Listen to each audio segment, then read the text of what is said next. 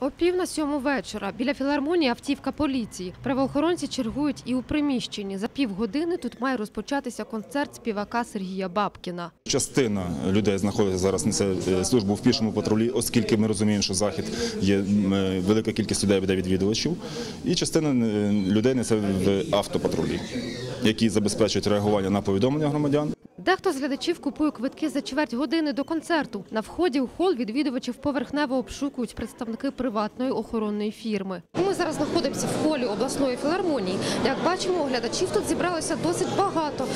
Дехто є поціновувачем творчості Сергія Бабкіна, а дехто прийшов на його концерт вперше у житті. Більшість концертів Бабкіна не пропускаємо взагалі.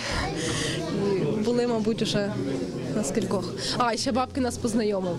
Ну, себто мене з чоловіком. е, Ми, можна сказати, завдяки Бабкіну одружилися.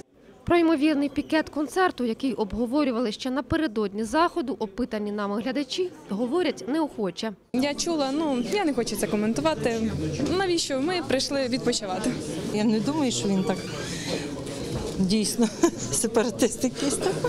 Нагадаємо, за кілька днів до події представники Хмельницького осередку Всеукраїнської геосокіл біля обласної філармонії топтали і палили афіші із зображенням Сергія Бабкіна, таким чином протестуючи проти його виступів у Росії та окупованому Криму. Проте за кілька годин до концерту на спільній з активістами прес-конференції співак заявив, у Російській Федерації не виступатиме, поки триває війна. Я не планую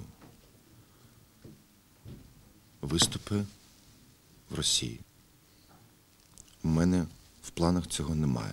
До речі, за період всеукраїнського туру Сергія Бабкіна його концерти були скасовані у трьох містах через протести місцевих активістів. Світлана Русіна, Вікторія Паламар, Сергій Захаров, Дем'ян Цегольник для інформаційного випуску.